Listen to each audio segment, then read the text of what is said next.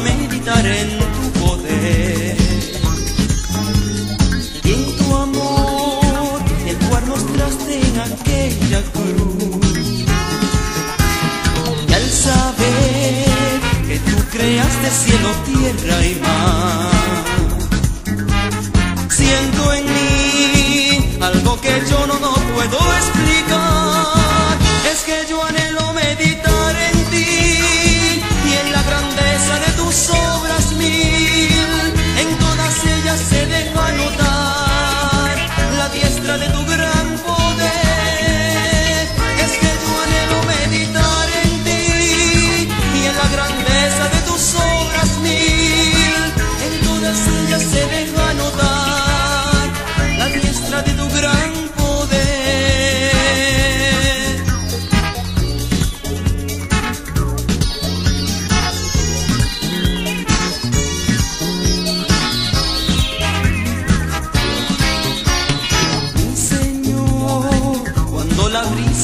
con el mar.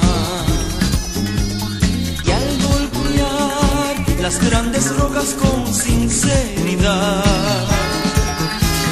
pienso en ti, pues todo lo que has hecho esto es genial.